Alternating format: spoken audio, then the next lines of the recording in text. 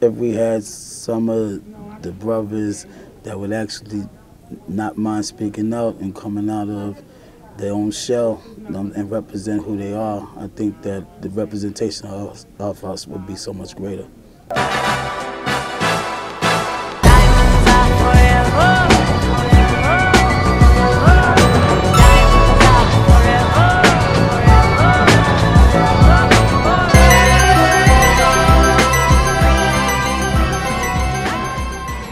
Kanye West came out and said what he said, what did people say?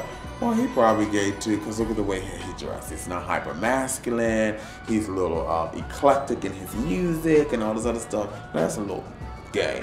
So, you know, it's expected for Kanye West. But can you imagine the impact of homophobia in black community if Louis Farrakhan came out the announcement? Me, I know, I know how I am, and if I'm in this industry long enough, I will walk the red carpet with um, my husband and children at tow. You know, and I think that we need to step up. We, you know, one by one. If it takes just me to do it before four or five others do it, then fine. You know, if it takes Kanye West to make a statement like that and it makes people go, hmm, maybe we should open the, you know, the the reins. Fine. You know, oftentimes go back to my thought around the slave mentality, and so hmm, must have been three or four years ago the warehouse when it was in the Bronx. I went Halloween weekend. And there was this long line. The warehouse never has a long line. So I'm in it. So I hear people say the warehouse regular get out this line and go into the next line. So me thinking I'm fab, I said, oh, they're not talking about me because I'm not a warehouse regular. So he came and said, yeah, you too. I said, oh. So I didn't know why he pointed me. So he went to the warehouse, that line. So our line was getting faster.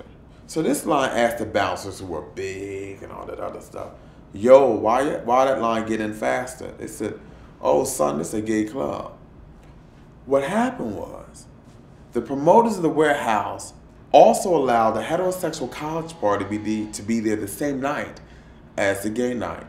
The heterosexual student in line with us all that long time did not know it was a gay club. Why? Because we were all in thug drag. All in thug drag, right? So we get inside, and downstairs a little hip hop floor. So they make an announcement, can we move everyone upstairs so we try to get everybody in? So all you hear is, oh no, son, all them fucking faggots upstairs, I ain't going up there, blah, blah. So we go upstairs, go on the dance floor. The heterosexuals got a little unofficial circle where they're dancing, surrounding us sort of to protect them from the gay people. The quote unquote masculine gay men are not dancing, they're just standing there in their heterosexual, stereotypical heterosexual stance. Always gotta give it to the country girls. You know, hand up, yeah, fuck this and all this stuff, blah blah, all this, you know, these fishes here, what these fishes talking about the women. So you go where the bar is, there's a particular uh, transgender woman, woman named Sanaya. She's in the House of Ebony Mother Legend. She ruled the, the bar, her her girlfriend Carrie, who's a Mizrahi. Sanaya shaking her titties because she knows boys this and she's showing off. So the the biologically female were upset. Well, because look how Sanaya looked. They know she's biologically male, but she's all this breasts and waist and ass, and they don't. The the men, the heterosexual men, were perplexed because you know they was turned on, but knew it was. And so me being altered with my cocktail that I call Red Devil. I'm political. I'm going off. I'm telling my friends, oh, fuck this weekend. La, la, la, la. They say, oh, child, whatever. La, la.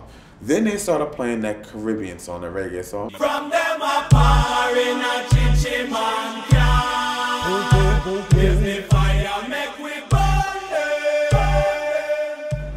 I just went berserk. Well, when they played that, then all the gay people started dancing. You want to talk about slave mentality would not dance regularly, but you start dancing to a song that was talking about killing you and burning you. The heterosexuals looking at the gay people like, like, are y'all like crazy or whatever? But they're dancing too. Yeah.